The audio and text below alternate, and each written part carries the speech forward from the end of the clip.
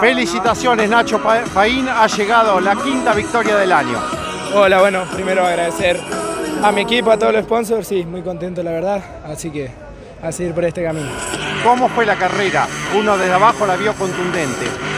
Las primeras vueltas tratamos de marcar diferencias, Lucio venía muy parecido a mí, luego nos quedamos un poco con el aceite y volvimos a marcar un buen ritmo, así que nada, nos caímos un poquito en el ritmo, pero nada grave. ¿Qué significa encarar las últimas dos del año como puntero de la Copa ahora? Y más firme que nunca, la verdad, eh, hace varias fechas venimos funcionando muy muy bien, así que nada, no significa mucho tampoco, ya que hay que seguir trabajando por la misma, con la misma intensidad que veníamos trabajando, pero eh, te da mucha más confianza, ¿no? Felicitaciones Nacho, gracias. No, muchísimas gracias.